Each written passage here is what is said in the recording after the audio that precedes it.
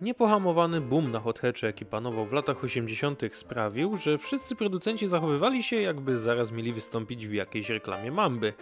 Wspólnie z innymi hasło Mam i ja wykrzyczeli Hiszpanie z Seata, którzy na potrzeby tej niszy przygotowali Ibizę w wersji SXI. Tak naprawdę już sama historia tego, jak w ogóle doszło do powstania pierwszej generacji Ibizy jest bardzo ciekawa. Był to bowiem jeden z symboli przemiany, jaką Seat przeszedł we wczesnej fazie lat 80. Ale od początku. Samo przedsiębiorstwo wraz ze zlokalizowaną w Barcelonie fabryką założono w 1950 roku. Jak dla wielu producentów de facto stworzonych i sterowanych przez państwo, głównym zadaniem Seata było powojenne zmotoryzowanie Hiszpanii, która od drugiej połowy lat 30. była rządzona twardą ręką generała Franco. Pomocną dłoń do nowego producenta wyciągnął, jakby inaczej, zawsze chętny w takich sprawach Fiat. Swoją drogą to fascynujące, jak zręcznie Włosi potrafili dobijać targu praktycznie ze wszystkimi, których tak zwany Zachód nie lubił. Od Związku Radzieckiego przez ówczesną Jugosławię do totalitarnej Hiszpanii właśnie. Ale wiadomo, pieniądz to pieniądz. I przez lata ten włosko-hiszpański mariaż układał się znakomicie. Produkcja szła pełną parą, klienci byli zadowoleni, Fiat pewnie też. Więc chociaż w 1980 roku sprzedał Hiszpanom swoje udziały, to wydawało się, że współpraca wciąż będzie silna. Tym bardziej, że cała gama Seata opierała się na włoskich licencjach. Przynajmniej do czasu, kiedy na horyzoncie pojawił się Volkswagen. Widać, że wsparcie Niemców dodało Seatowi wiatru w żagle, bo Hiszpanie w 1982 roku postanowili wypuścić na rynek to. Nie, to nie jest Fiat Ritmo z innym przodem. To znaczy, trochę jest, ale oficjalnie wcale nie.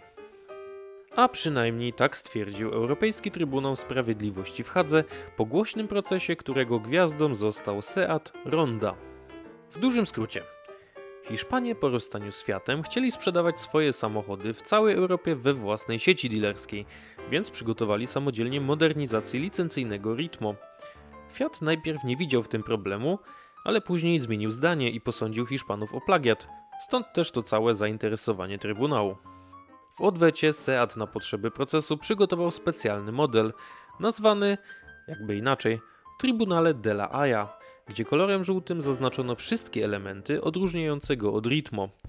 Taktyka była odważna, ale jak się okazało skuteczna, bo koniec końców sędziowie orzekli na korzyść Hiszpanów, którzy tym samym spalili sobie wszelkie mosty w Fiacie.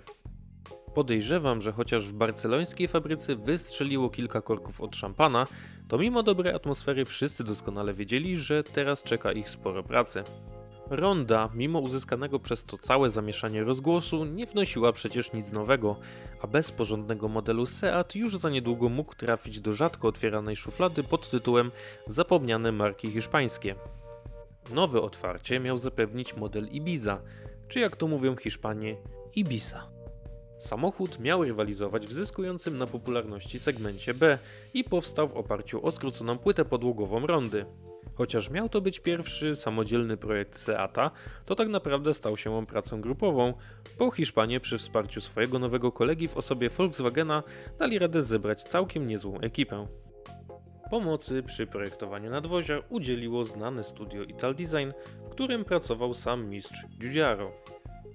Ten tym razem nie musiał się zbytnio napracować, tylko przytomnie wyciągnął z szafy odrzucony projekt drugiej generacji Golfa.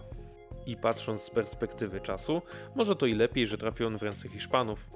To nie był jakiś genialny projekt, ale bez wątpienia miał swój styl i to mogło się podobać, szczególnie biorąc pod uwagę, że nowy Seat cenowo bardziej rywalizował z konstrukcjami typu Łada Samara czy Skoda Favorit.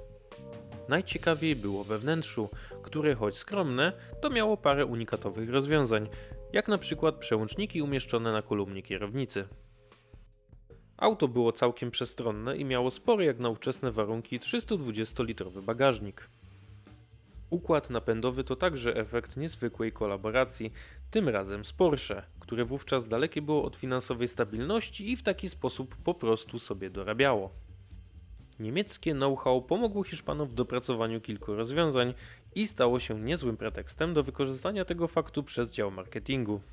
Stąd też można się było natknąć na wiele obiecujące napisy System Porsche, dzięki którym dziś można bez żenady postawić taką klasyczną Ibizę obok najnowszej 911 na jakimś zlocie. W każdym razie po takich przygotowaniach zarząd marki oczekiwał sukcesu, a wszystkie znaki na niebie i ziemi wskazywały, że w nowym samochodzie faktycznie drzemie spory potencjał. Ale było też coś, czego Ibiza od samego początku nie miała. Trwałość. Doskonale pamiętam, jak wiele lat temu w rankingach niezawodności rok w rok Ibiza szorowała po dnie tabeli i to z dużą stratą do reszty.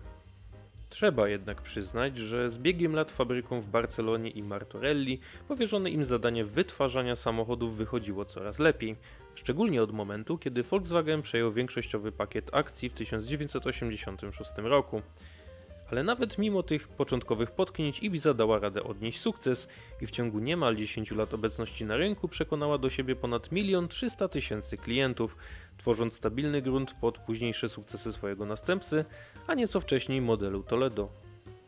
Ale cofnijmy się jeszcze na chwilę do 1987 roku, bo to właśnie wtedy podjęto decyzję o stworzeniu w oparciu o trzydrzwiową odmianę szybszej, bardziej młodzieżowo nastawionej wersji. Powstały w ten sposób wariant SXI, zgodnie z nazwą był całkiem sexy, jak na warunki ówczesnego Seata oczywiście.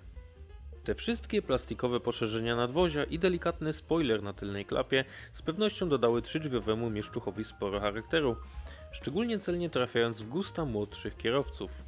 Czterocylindrowy motor 1.5 w zależności od tego czy miał katalizator czy też nie, rozwijał między 100 a 110 koni mechanicznych, co do spółki z utwardzonym zawieszeniem dawało sporo frajdy, chociaż w tamtym czasie wielu konkurentów oferowało lepsze osiągi.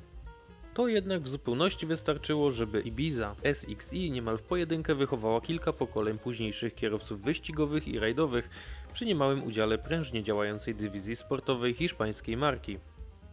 Po liftingu z 1991 roku zdecydowano się na zastosowanie większej jednostki 1.7, która miała tą samą moc, ale nieco wyższy moment obrotowy.